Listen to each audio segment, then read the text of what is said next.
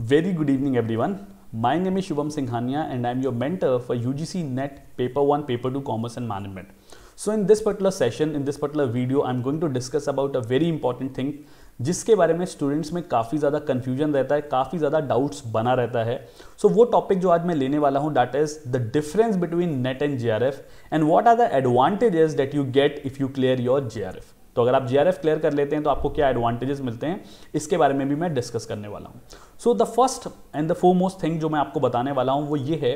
कि सबसे पहले तो आपको ये पता होना चाहिए कि आप एक कॉमन एग्ज़ाम देते हैं that is an national eligibility test जिसमें से अलग अलग कट ऑफ़ डिक्लेयर की जाती है रिलीज़ की जाती है यूजीसी द्वारा। सो so, अगर एक कट ऑफ़ नेट की अलग निकलती है एंड एक कट ऑफ़ जीआरएफ की अलग निकलती है जिसमें जीआरएफ की कट ऑफ़ स्लाइटली हायर होती है as compared to your NET for example अगर मैं कॉमर्स सब्जेक्ट का एग्ज़ाम्पल लूँ तो अगर आपने नेट पेपर टू कॉमर्स में दिया है तो पास्ट ईयर्स के बेसिस पे पास्ट ट्रेंड्स के बेसिस पे जो जीआरएफ की अप्रॉक्सीमेट कट ऑफ़ होती है दैट इज़ 65 परसेंट वो आ, हर साल हर अटेम्प्ट के हिसाब से चेंज होती रहती है। तो अगर आपने जीआरएफ की कट ऑफ़ क्लियर कर ली है तो आपको J R F NET plus J R F मिल जाएगा। एंड अगर आप नेट की कट ऑफ़ क्लियर करते हैं जो कि पेपर टू कॉमर्स में अप्रॉक्सीमेटली सिक्सटी रहती है during the past years trend तो आपका सिर्फ़ और सिर्फ़ नेट क्लियर होगा। सो so, ये तो आपको डिफरेंस पता चल गया। So it's always better to qualify JRF because उसके काफ़ी सारे एडवांटेजेस हैं जो मैं अभी आपको बताने वाला हूँ। तो कुल मिला के जीआरएफ क्लियर करने के चार एडवांटेजेस हैं जो अभी हम डिस्कस करने वाले हैं।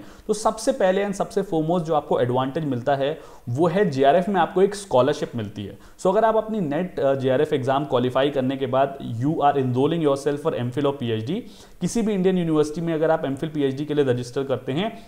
सो so, आपको पर मंथ एक यूजीसी की तरफ़ से स्कॉलरशिप मिलती है that is approximately thirty eight thousand rupees for a period of five years तो आप देख सकते हैं कि जेआरएफ से आपको कितना बड़ा एडवांटेज मिल रहा है, कितनी बड़ी हेल्प मिल रही है कि आपको एक फाइनेंशियल सपोर्ट प्रोवाइड किया जा रहा है throughout your tenure of PhD और MPhil whatever your pursuing जिसमें आपको थोड़ी सी फाइनेंशियल जो सपोर्ट मिल जाएगा, उसकी वजह से आपकी जो थोड़ी सी टेंशन होगी, वो कम हो जाएगी. So this is the first advantage the second advantage कि जब भी आप किसी कॉलेज के रिक्रूटमेंट के लिए जाते हैं for the position of an assistant professor और लेक्चरर एज वेल एज जब आप एम या पीएचडी के लिए अप्लाई करते हैं किसी इंस्टीट्यूट में तो वो इंस्टीट्यूट हमेशा उन कैंडिडेट्स को प्रेफरेंस देता है जिन्होंने जे आर क्वालिफाई किया हुआ है। So that is the second benefit that you get third benefit आपको ये मिलता है कि बहुत सारे ऐसे इंस्टीट्यूट्स हैं, बहुत सारे ऐसे ऑर्गेनाइजेशंस हैं जो जेआरएफ कैंडिडेट्स का एंट्रेंस भी नहीं लेते हैं। इसका मतलब है कि अगर आप एम फिल के लिए अप्लाई कर रहे हैं या फिर आप टीचिंग जॉब के लिए अप्लाई कर रहे हैं तो आपको उस पर्टिकुलर इंस्टीट्यूट का एंट्रेंस एग्ज़ाम हो जाएगा। फॉर एग्ज़ाम्पल अगर मैं आई एम्स एंड आई की बात करूँ,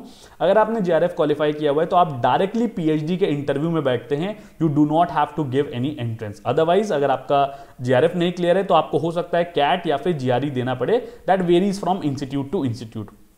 चौथा एंड सबसे मोस्ट इंपॉर्टेंट एडवांटेज ये है कि अगर आप परमानेंट रिक्रूटमेंट के लिए जा रहे हैं, जब भी आप किसी असिस्टेंट प्रोफेसर की प्रोफ़ाइल के लिए परमानेंटली अप्लाई कर रहे हैं रिक्रूट होने के लिए किसी भी इंस्टीट्यूट में तो उस टाइम पे एक एपीआई कैलकुलेशन की जाती है that is academic performance indicator ये एक इंडिकेटर होता है जिसके अंदर आपको आपके graduation post graduation PhD research publication teaching experience इन सारी चीज़ों को वेटेज दिया जाता है एंड आपको पॉइंट्स प्रोवाइड किए जाते हैं। ये पॉइंट्स हेल्प करते हैं कॉलेज को एक मेरिट बनाने में, जिसके बेसिस पे वो लोगों को परमानेंटली रिक्रूट करता है या फिर प्रमोशन देता है। तो अगर आपने थोड़ा सा डिटेल में पढ़ा हो एपीआई के बारे में तो आपको ये पता होगा दैट अगर आपने सिर्फ़ और सिर्फ़ नेट क्वालिफाई किया है तो आपको पाँच पॉइंट्स मिलते हैं। वेर एज अगर आपने जेआरएफ क्वालिफाई किया हुआ है तो एपीआई के अंदर आपको सेवन पॉइंट्स दिए जाते हैं। सो so आप क्लियरली यहाँ पे देख सकते हैं कि जिन्होंने, जिन कैंडिडेट्स ने जीआरएफ क्वालिफाई किया है, उन्हें दो पॉइंट्स का सीधे के सीधा एडवांटेज मिल जाता है। So these are some of the advantages of qualifying JRF over NET तो मैं सारे स्टूडेंट से यही कहूँगा कि अगर आप एग्ज़ाम दे ही रहे हैं, एक ही एग्ज़ाम दे रहे हैं दैट इज़ नेट तो थोड़ी सी ज़्यादा मेहनत करें ताकि आप नेट के साथ साथ जे भी क्वालिफाई कर पाए एंड ये सारी एडवांटेजेस का बेनिफिट ले पाएँ यूज़ कर पाए अपने एम फिल के अंदर। So that was all for today अगर आपको लगता है आपने इस वीडियो में कुछ भी नया सीखा है तो एक बार वीडियो को लाइक ज़रूर कर दीजिएगा चैनल को सब्सक्राइब कर दीजिएगा एंड अपने फ्रेंड्स के साथ भी शेयर करिएगा। Thank you and have a nice day